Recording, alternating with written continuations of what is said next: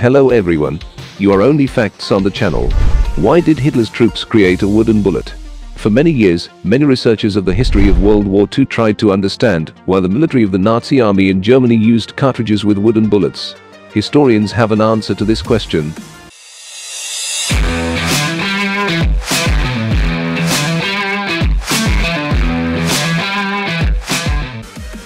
At the very beginning of the war, it was noticed that the Germans were producing cartridges with wooden bullets, which could not but raise questions.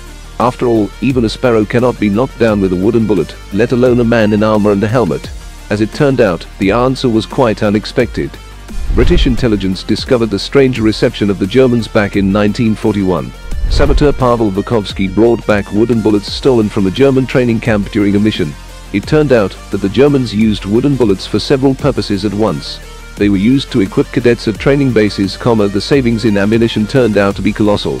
Then the same cartridges were equipped for firing rifle grenades. A special mortar was attached to the muzzle, a grenade was put into it, and thus fired with a wooden cartridge. However, at the end of the war, Germany again tried to switch to wooden bullets, but for other reasons.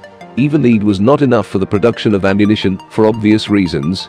If you liked my video, then like it and subscribe to the channel. See you.